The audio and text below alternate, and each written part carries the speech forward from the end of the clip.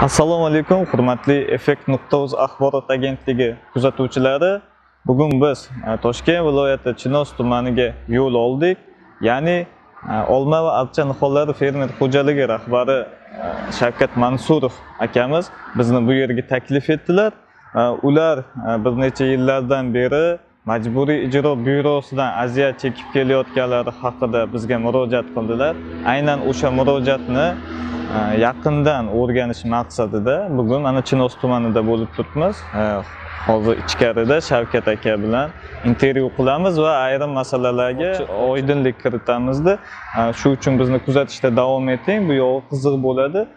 Shavkat akaning aytishlaricha majburiy ijro byurosi undirib beriladigan texnikalar o'rniga juda bir eski texnikalarni bularga taklif qilyapti. Xullas fuqaro ya'ni o'sha fermer xo'jaligi rahbari e, majburiy ijro byurosidan noroziligini bizga bildirgan e, mana bugun shu murojaatni o'rganish maqsadida shu yerda bo'lib turibmiz. Qani ichkariga ketdik.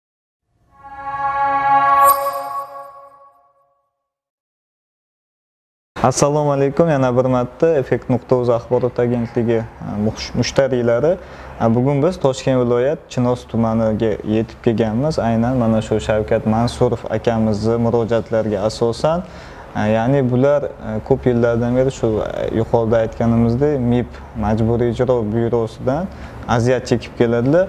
Bugun mana o'zlari bilan ko'rish nasib etdi. O'zlaridan nima bo'lgan qanaqa holat? Shu haqida batafsil so'raymiz. Assalomu alaykum shavkat aka. Alaykum assalom siz bizga murojaat qildingiz. Aynan mibdan noroziman degan mavzuda ya'ni ho'p nima bo'lgan aka? Nima muammo sizda? Biz ko'p yildan beri fermer xo'jaligimizda ko'chat yetishtirish bilan shug'ullanamiz. Ikki ming o'n yettinchi yil bahor boshlarida sirdaryo tuman yo'llaridan muntazam foydalanish unitar korxonasiga ko'chatlar yetishtirib berganmiz. Ikki ming o'n yettinchi yil. Ikki ming o'n yettinchi yil yetishib berilgan. Shu natijasida ular bizdan yigirma yetti million qarzdor bo'lib qolgan yigirma yetti million sakkiz yuz ming keyin bir yil davomida ular to'lab berishmagandan keyin biz sudga berishga majbur bo'ldik. Ikki ming o'n sakkizinchi yil sudga berdik ikki ming o'n sakkiz yil sudga berganimizdan keyin sud yutib chiqdik sud yutib chiqdikda ikki ming o'n sakkizinchi yil o'n oltinchi iyulida ijro varaqasi chiqdi. Ijro varaqasi chiqdi. Mana qariyb ikki yildan oshib ketdi lekin hali mana undiruvdan sirdaryo tuman mibga taqdim qilingan ijro varaqasi. Undiruvdan darak bo'lmayapti hech qanaqa. Shu murojaat qilib necha marta borganimizda shu ular bizga hisobdan chiqarilgan yaroqsiz texnikalarni sotuvga qo'yilgani yoki juda katta miqdorda pul sotilishi mumkin bo'lgan zdaniyalarni taklif qilishadi. Mana shuni sotuvga sotsak to'laymiz yo o'zinglar olinglar degan mazmunda shunaqa takliflar qilishdi. Shu murojaat bo'yicha tadbirkorlarni himoya qilish ombudsmanga murojaat qildik. Bosh vazir qabulxonasi sirdaryo tuman sirdaryo viloyat boshqarmasiga murojaat qildik. Nechta xatlarga murojaat qilgan bo'lsak ham faqat shu javob keladi. Shu yaroqsiz texnikalar sotuvga chiqqan. Mana shu shu sotilsa qarzlar bo'lib bo'lib sizlardan boshqa ham qarzdorlar bor to'lab beriladi. Nimaga endi shu qonunda likvidli tovarlarga likvidli mol mulkka qaratilsin deb yozilgan. Lekin negadir ular likvidli mol mulkka emas shu yaroqsiz texnikalarga qaratilyapti. Masalan mani qarzdorligim bo'lgani уже ikki yil bo'ldi. Undan tashqari to'rt yil besh yildan beri qarzdor tashkilotlar bor. Qarzini undira olmagan tashkilotlar. Nega shu paytgacha ularni isuzu texnikalari bor cobalt yengil avtomashinasi bor yuk mashinalari bor kranlari bor. Necha milliarddir qarzi bo'lsa nega shu bilan shu paytgacha ularni sotuvga chiqarmadi nega shu shular tez sotiladigan narsalar sotuvga chiqarilganda davno davno bizani ham qarzdorimiz yo boshqa tashkilotlarni ham qarzdorligi уже undirilgan bo'lardi. Yopilib ketgan bo'ladi yopilib ketgan bo'ladi demak bundan uch yil avval siz sirdaryo o'sha davlat unitar korxonasi adashmasam o'shalar ya'ni unitar korxona bilan siz oldi sotdi shartnoma qilingan adashmasam ko'chat yetkazib bergansiz va necha pulli yetkazib bergansiz ular qanchasini to'lashgan va adashmasam yigirma sakkiz millionga yaqini. Yigirma sakkiz millionga yaqinida qarzdorlik bor. Sakkiz yuz qancha mingni ham undirib berishdi? Aha. 800 ming. sakkiz yuz mingni undirib berishdi. Ikki yil oldin. Sakkiz ming undirib berishdi lekin mana shu yigirma yetti millioni shu e, shu paytdan beri hali cho'zilib Siz e, necha pullik ularga ko'chat sotgansiz? Ellik to'rt millionlik ko'chat sotilgan 54 millionlik sotilgan. Demak, ular hisob kitoblarga ko'ra 50 foizini sizga o'tkazib bergan. to'lab berishgan keyin qolgan yarimini e, to'lab berishgan shu paytgacha Shavkat aka, mana shu Sirdaryo ma- markaziy yo'llardan foydalanish unitar korxonasi bilan bundan avval ham ishlaganmisiz? undan avvaldan ham ishlaganmiz. Hisob kitob bo'yicha, ya'ni pul masalasi bo'yicha ishlagansiz. ishlaganmiz. A, Unda holat qanaqa bo'lgan? unda holat to'lab berishgan sal sal cho'zib bo'lsa ham to'lab berishgan Ha, yaxshi to'lab berishgan. Demak, mana shu oxirgi 2 yilda sizga qarzdorlik qaytarilmayapti. oxirgi uch yil ikki ming o'n yettinchi yilgi holat bo'yicha e, 2017 yilga qoladi. Tushunarli. A, Sirdaryo ish Sirdaryo majburiy ijro byurosiga chiqqan. Biz u yerdagi mas'ullar bilan bog'langanimizda bizga ham har xil bahonalar qilishdi, har xil vajlar bilan, asossiz vajlar bilan biz o'ylashimizcha javob qaytarishdi, lekin biz bu javoblardan qoniqqanimiz yo'q. Chunki mana oxirgi kunda O'zbekistonda so'z erkinligi e, kuchayapti borgan sari.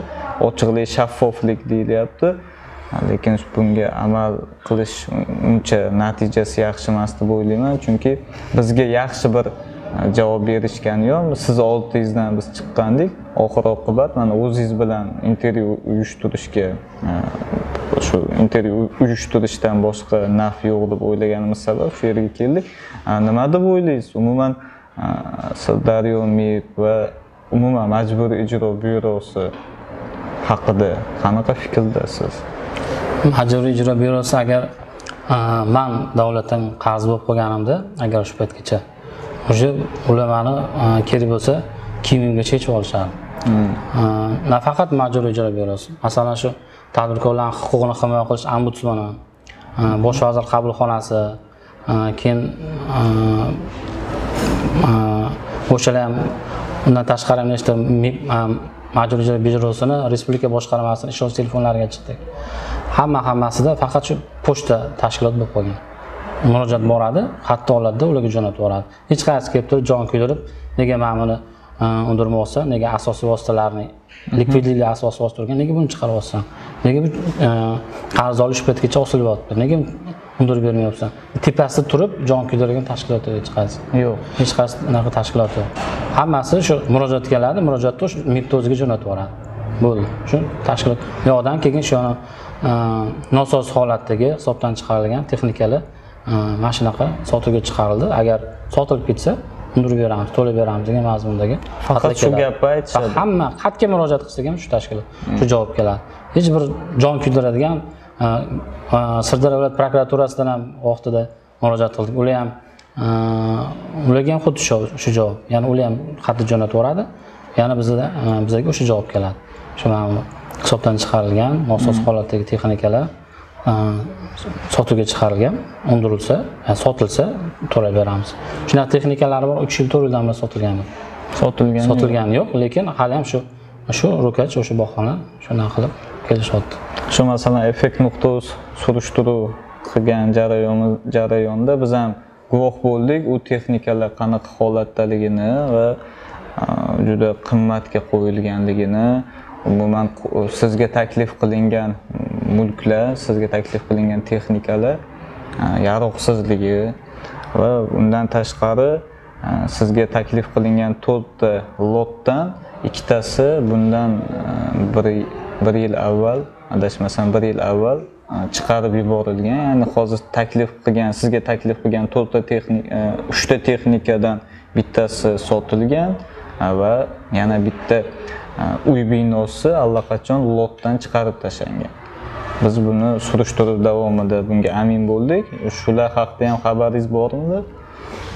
Yo'q man bulardan xabarim yo'q. Man ham ko'rdim. Ular chiqargan texnikasini sotuvga qanaqa chiqargan texnikalarini sisternalarni katodlarini ko'rdim. Sisternasi ham shunaqa holatdaki yana qirq besh millionga ham qirq yetti million baholab qo'ygan unga yana qirq besh million sarflasa ham yurmaydi mashina shunaqa holatdagi mashinalar qo'yilgan. A, lekin o'sha bahona uchun qo'yilgan mabodo shunaqa murojaat bo'lib qolsa mana biz ishlayapmiz. Ehm, nimadir qilyapmiz sotuvga chiqaryapmiz. Xudo xohlasa sotilsa undirib beramiz. Shu mazmundagi javob bilan hammasi tushunarli demak hozir e, siz faqat ko'chat e, yetishtirish bilan shug'ullanasiz adashmasak. Hmm, ko'chat ko'chat yetishtirish bilan shug'ullanish umuman shu faoliyatingiz haqida ham so'raysam degandim. Necha yil bo'ldi bu kasb bilan shug'ullanayotganingizga ikki ming oltinchi yildan beri shug'ullanamiz ikki ming oltinchi yil ya'ni o'n to'rt yildan beri shu kasb bilan shug'ullanasizda. Umuman faoliyatingizda shunaqa ya'ni ko'cha tilida aytganda minuslarga uchraganmidingiz Yo'q, har qanaqa tashkilot ham yilni oxirida shu qarz bo'lib qolmaslik harakatini qiladida. Baribir yilni oxirida keyingi yilga o'tkazmasdan to'lab beradi to'laveradi mana shu paytgacha ham chinoz tumanidagi tashkilotlar bilan ishladik. Ular karantin vaqtida to'g'ri qiynalishdi. Karantin tugagandan keyin ular shu yerdan hisob raqamimiz ochildida hisob raqam anaqalarni qarzdorlar hammasini to'lab berishdi lekin sirdaryodan hali ham shu shu shu ahvol shu shu ahvol. Siz mana aytyapsiz ishonch telefonlariga qo'ng'iroq qildim ho'p ishonch telefonlariga qo'ng'iroq qilgan vaqtingizda siz gaplashgansiz baribir. Gaplashganingizda sizga qanaqa javob berishdi yoki faqat shu xat jo'natish bilan cheklanishdi xolosmi ular mani ishonch telefoniga telefon qilganimda murojaatimni yozib olishdi. Yozib olishdida a, keyin o'n besh kun ichida murojaatingizga javob boradi deyishdi ular shu murojaatni yana xuddi o'sha ssenariy sirdaryo mibga tashlab beradi. Sirdaryo mibdan yana o'sha javob keladi. Har doimgi javob keladi demak hozir siz moliyaviy tarafdan sizda qiyinchiliklar bor. Shu uchun siz bizga murojaat qildingiz. Nima qilsa qanchalik sizga rezultat bo'lishi sizga qanchalik muhim? Masalan qanaqa qilsa siz o'sha texnikadan olishga imkoningiz yetadimi? Yoki boshqacha yo'lda kelishasizlarmi? Nima qilsa sizni muammoyingiz hal bo'lishi mumkin? Deb o'ylaysiz o'zingiz? O'sha ijro varaqasi chiqqan yili ham borib o'shanda ham taklif qilgandim. A, kobaltini chiqarib beringlar auksionga. A, man farqini to'lab olaman. O'sha paytlar ham olgan o'sha paytlar ham aytganman ulardan mahallachilik qilishyaptimi bu chinozlik biz sirdaryolimiz deb A, nimagadir shu shu hech qanaqa hali bir ijobiy natija bo'lgani. Yo'q Ha, sudda yutib chiqdim deb aytdingiz Shavkat aka. Sud jarayoni qanaqa kechdi? U yerda haqiqatdan ham siz shu yutib chiqqaningizga masalan yutib chiqdim dedingiz, yutib chiqishingizda qiyinchilikka duch kelmadingizmi? yo'q yo'q. Sudda birinchi sud a, ular tarafdan ularni yuristi keldi. A, biz bu yoqda advokat bilan bordik. Sud majlisida shu sirdaryo tuman lararo iqtisodiy sudda sud bo'lib o'tdi. O'sha yerda hamma hujjatlarimiz a, yukxatlar a, hammasi sh- ishonch ishonchnomalar hamma shartnomalar hammasi joy joyida bo'lgani uchun уже hech qanaqa asos yo'q edi ularni ularni yutib chiqishiga hammasi dalil isbotlar yetarli edi. bizni dalil isbotlarimiz hammasi yetarli Tushunarli. Ma- Mana man Majburiy ijro byurosi tomonidan sizga yo'naltirilgan xatni o'qib chiqdim. Bu yerda shunday yozilganki, Э, berilgan javob xatidan norozi bo'lgan taqdiringizda deb aytilgan, e, yuqori turuvchi byuroga shikoyat qilish huquqiga ega ekanligingizni e, tushuntiramiz deb aytishgan.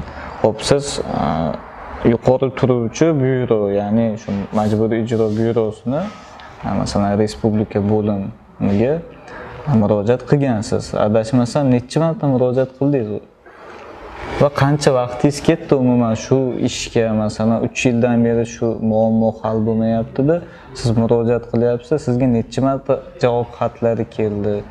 Va ularni qaysi biridan qoniqdingiz qaysi biridan qoniqmadingiz bu javob xatlar juda ko'p kelgan. Javob xatlarni hech qaysidan qoniqmaganman albatta natija bo'lmagan. Natija bo'lmagandan keyin o'shanda bosh vazir qabulxonasiga borib sirdaryo viloyat bosh vazir qabulxonasiga borib murojaat qilganimda ham a, o'sha yerda sirdaryo viloyat mibni xodimini chaqirishdi.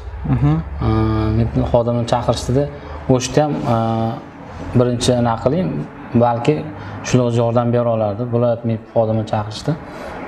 Viloyat mib xodimi keyin tuman mibni anaqasiga birinchi o'rinbosari karim aka degan odam bor ekan o'shanga telefon qildi. Mana shunaqa murojaat tushyapti shu fermer xo'jalikdan shuni qarzdori bor ekan shuni undirilmayapti ekan qancha vaqtdan beri deganda ulardan aytyapti ularni qanaqadir zdaniyasi sotuvga qo'yilgan taksi o'z sirdaryo guliston shahrida taksi o'z degan korxona bor ekan o'sha sotib olmoqchi ikki milliard so'mga shu sotilsa qarzdorimizni to'lab beramiz o'sha yerda ham keyin tadbirkorlarni huquqini himoya qilish ombudsmani toshkentdagi vakiliga murojaat qilganmiz. Ular keyin sirdaryo viloyat boshqarmasiga vakiliga bo'limiga tashlab berishdi. U yoqqa murojaat qilganmiz. Ular ham viloyat mibga chiqib ko'rishdi viloyat mib juda ko'p kursda bo'lgan bu ish bo'yicha. Juda ko'p kursda bo'lgan lekin shu o'sha o'sha holat hech qanaqa natija yo'q. O'zgarmayapti o'zgarmayapti hech qanaqa. Demak shunchalik mana ombudsmanga и bosh vazir qabulxonasiga siz murojaat qilgansiz. Demak bundan ham natija bo'lmagan. Yo'q natija hamma u tashkilotlar hammasi shu pochta tashkiloti bo'lib qolgan. Murojaat bo'ladi ularga jo'nataveradi bo'ldi. Hech qanaqa amaliy hech qanaqa amaliy yordam berilmagan. shu o'tiradi stolda shu stolda o'tirgan joyida shu hech qanaqa joydan turib o'rnidan turib borib bir natija qilish keyin yaqinda Э, bir taklif berdim shu bosh vazir qabulxonasini sirdaryo bo'limiga. Э, mana shu murojaat bo'yicha sirdaryo э, kanaliga televideniyada kanaliga murojaat qilib ko'ringlar A, dedim ular aytdiki bo'ldi man aytib qo'yaman dedi. Ular ham qachondir navbati kelsa chaqirishadi. Shu bo'yicha lavha tayyorlaymiz deb aytishdi dedi. Shu narsaga ham уже bir oydan oshdi. Agar rostdan haqiqatdan aytilgan bo'lganda davno chaqirgan bo'lishardi murojaat muddati o'n besh kun. Mm. Haqiqatdan o'sha chaqirib bironta lavha olingan bo'lardi lekin hali bir oydan oshdiki hech qanaqa natija yo'q shavkat aka masalan sizga bir yana bir noodatiy savol bermoqchiman qarz ha- haqqingiz yigirma yetti million uch yuz mingga shunaqa deb aytdingiz yigirma yetti million uch yuz ming ho'p shu qarzingiz masalan qaytarildi ham deylik shu mablag'larga nima rejalashtirgansiz? Keyinchalik nima nima bo'ldi? Masalan pul oldingizda shu pul qaytib keldi. Shu pulni qayerga sarflamoqchisiz? O'zi bu mana shu pulga ishonib biz o'zi a, bankdan kredit oldik.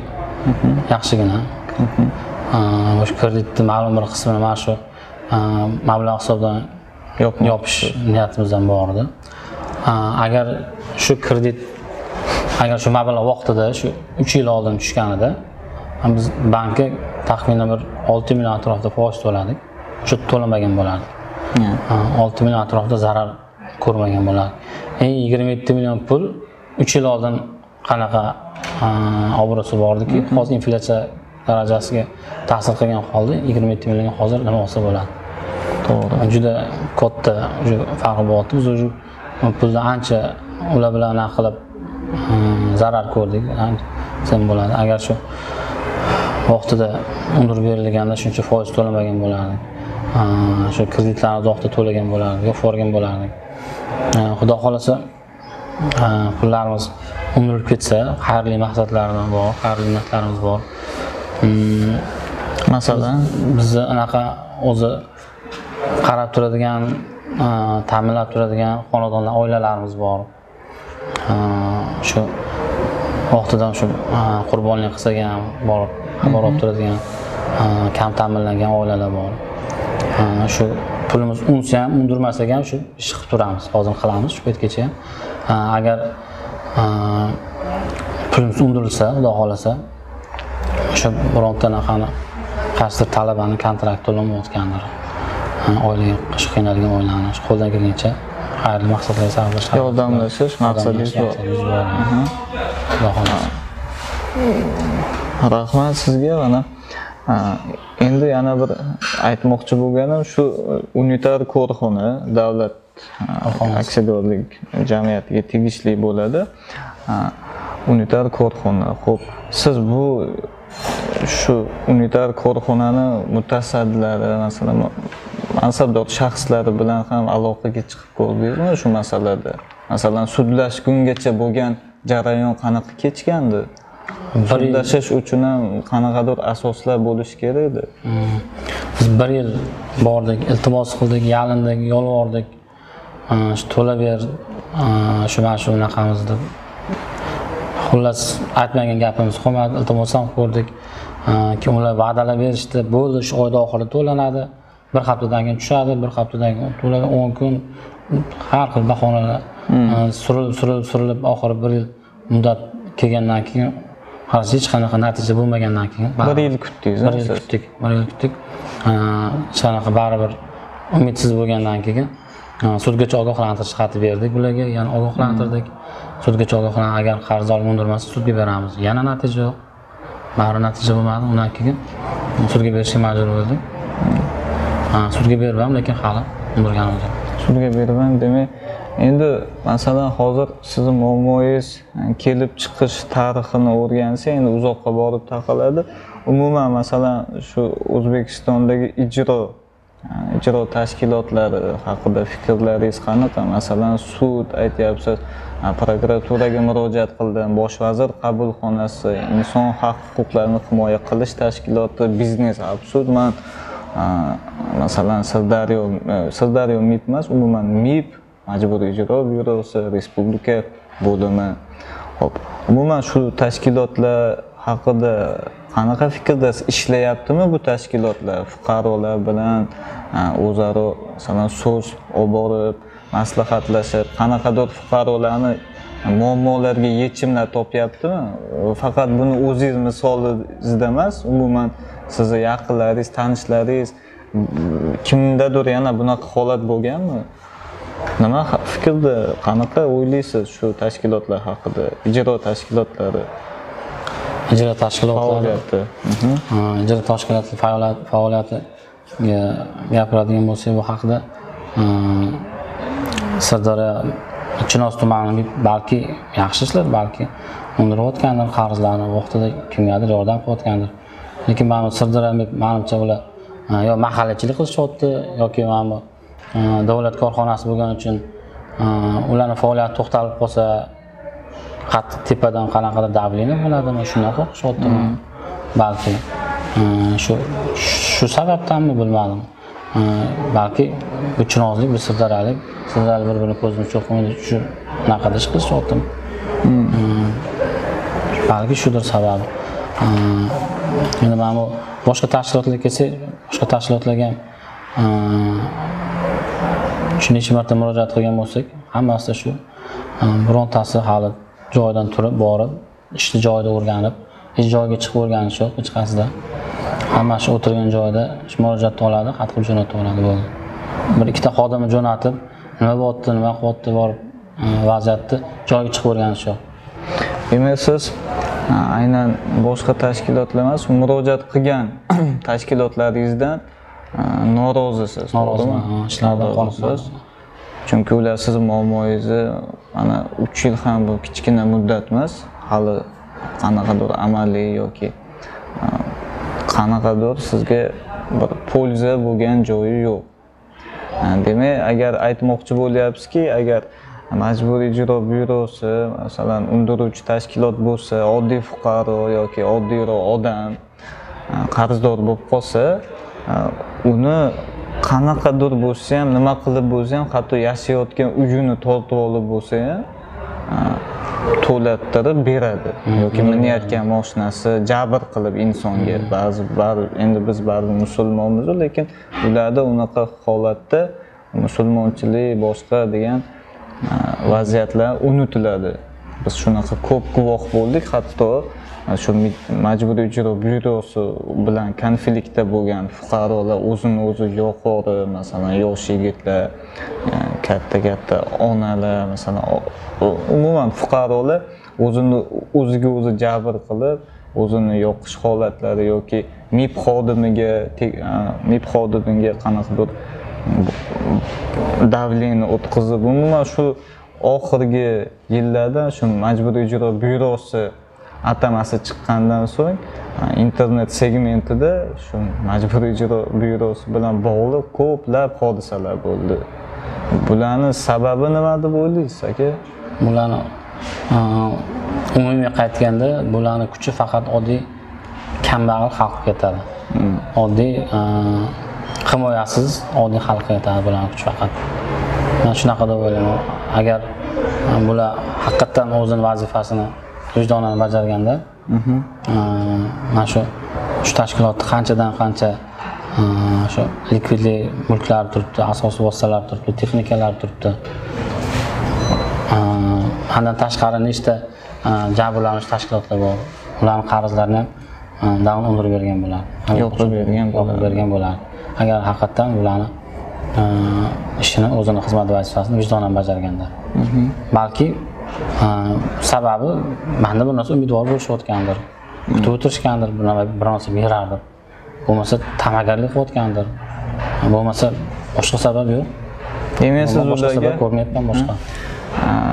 Aytmoqchisizki qanaqadir shu yigirma yetti milliondan hech bo'lmasa bir uch yuz mingini pora sifatida bersangiz balki u ish tezlashishi mumkin degan xulosa xulosa qilib aytmoqchisizda to'g'rimi endi manfaat sizdan manfaat ko'rishmayapti faqat olayotgan maoshlarga ishlashyapti sizga ketkazadigan vaqtda lekin ular bunga rozi emasdek gapiryapsiz.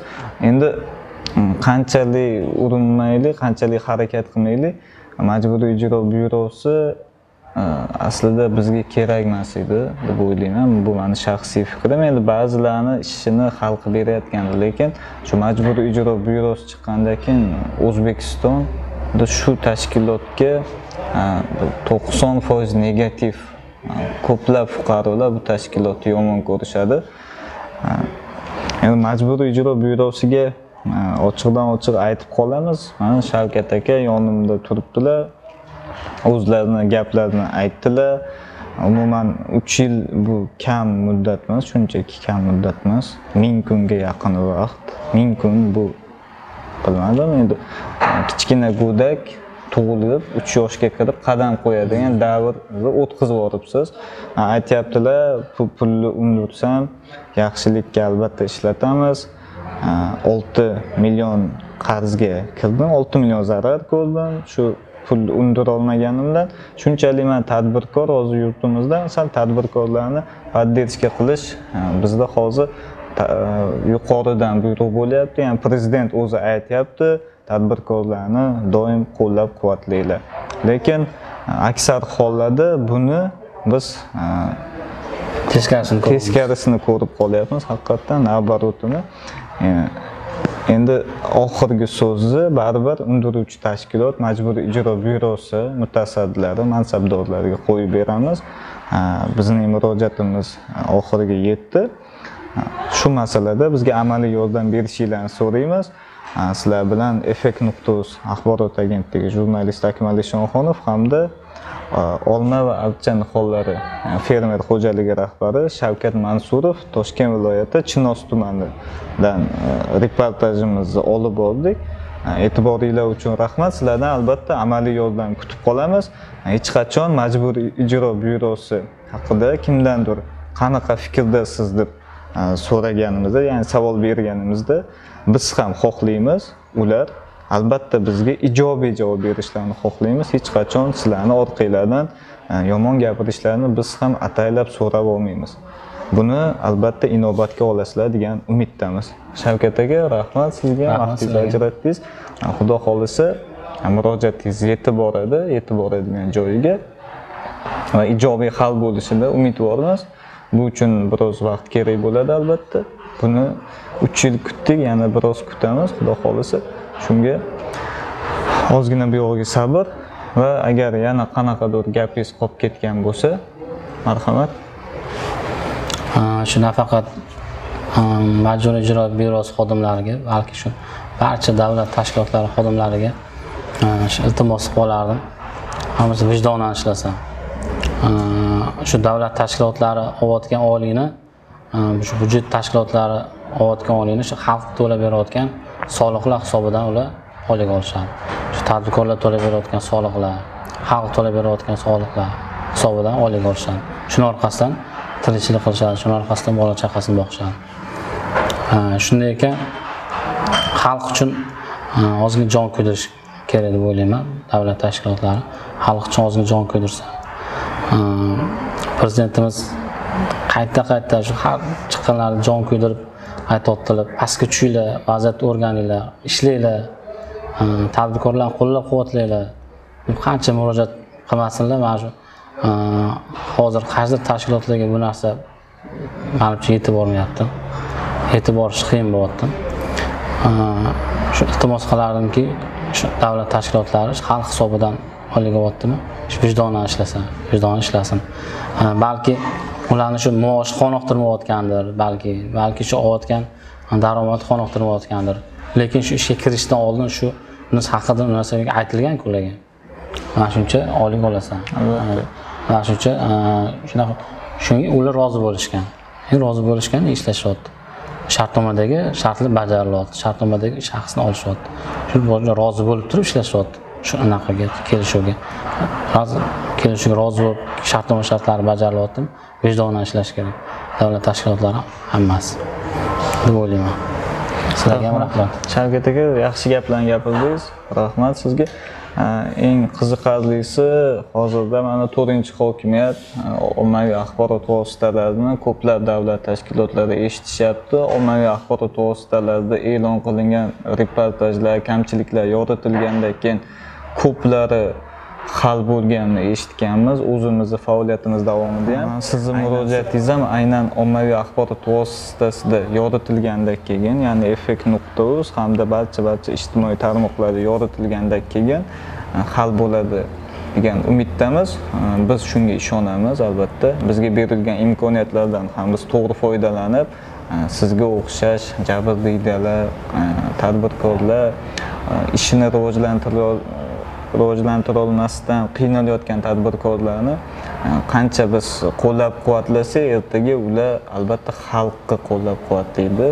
E, prezident ham aytgandek tadbirkor bu bizni bir katta imkoniyatimiz. Tadbirkor boy bo'lsa xalq ham boy bo'ladi deb e, yaxshi gaplarni gapirdilar. Shu gaplarga qo'shilamiz.